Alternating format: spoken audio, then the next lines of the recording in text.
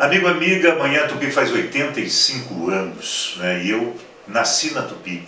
É. Por quê? Porque meu pai trabalhou a vida inteira nos diários e emissoras associados na BRB3 Rádio Sociedade de Juiz de Fora, co-irmã da Rádio Tupi, irmã da Rádio Tupi. Então, na barriga da minha mãe eu já estava, né? Na Tupi. E a Tupi sempre esteve na minha vida porque eu cheguei a trabalhar na Rádio Sociedade e a Rádio Sociedade sempre retransmitiu o futebol do Rio de Janeiro com todos os craques da Rádio Tupi. Ou seja, desde sempre, eu estou na Rádio Tupi, quando era pequenininho, saía de comandos geral do carnaval com um índiozinho no peito e com todo o uniforme que meu pai usava no carnaval também, só que o meu era de calças curtas, né? ao lado, de mão dada com meu pai, orgulhoso de ser um curumim, de ser um tupi também.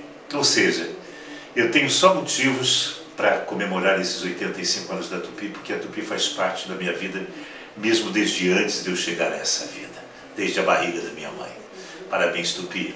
Eu te amo e com todos os motivos que tenho para amar. E está falado.